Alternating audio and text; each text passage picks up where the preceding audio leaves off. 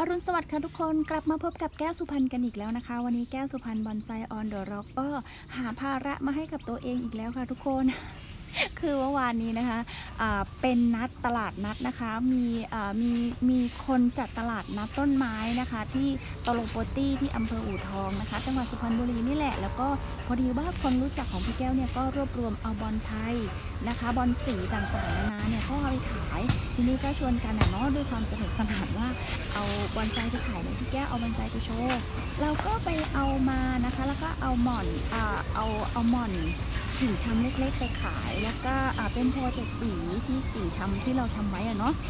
เอาใส่กระถางเล็กๆไปขายนะคะ แล้วก็เอาข่อยเกาะหินไปนะคะก็ตั้งราคาไว้ก็คือ ซึ่งคนที่ไม่เข้าใจบอนไซจริงๆเขาก็คงคิดว่ามันแพงเกินไปนะคะเขาก็เลยอสอยโพเจ็ดสีของพี่แก้วไปจำนวนทั้งหมดจะ5ต้นนะนะคะ5ต้นขายไป50บาทนะจ๊ะก็50บาทก็ได้เงินมา 250 บาทนะคะ เสร็จแล้วเราก็เดินไปเดินมาเดินมาเดินไปแล้วก็ขายบอลสีช่วยพี่ๆน้องๆเราอะนะเสร็จแล้วพี่แก้วก็ไปเดิน ทีนี้ตลาดนี้ตรงนั้นมันไม่ได้มีแค่ต้นไม้ ช่มีตั้งแต่ต้นไม้เขามีสัตว์เลี้ยง แล้วก็มีอของใช้วินเทจอะไรเยอะแยะมากมายไก่กองก็คือสนุกสนานแล้วก็คือกว้างขวางนะคะน่าเดินมากที่นี่ก็ไปเดินที่นี่สายตาพี่แก้วก็ไปเจอ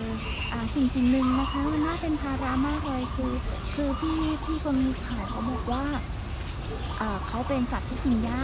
แล้วก็เป็นสัตว์ที่น่ารักมากนะคะเลี้ยงแล้วสามารถเพาะพันธุ์ได้ด้วยอ่าพี่แก้วก็เออก็น่ารักอะ่ะเออก็ชอบอะ่ะคือไปนั่งเล่นนี่เห็นไหม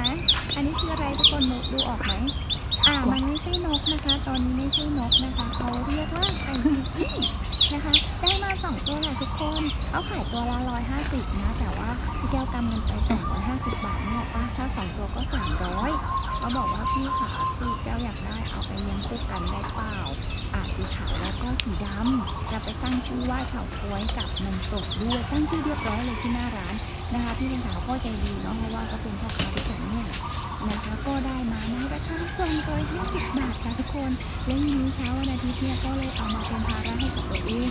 เนาะแล้วต้องมาทำอาตะข่ายแบบนี้ค่ะพันไว้กันกันสัตว์ที่ไม่น่ารักเข้ามาคือตรง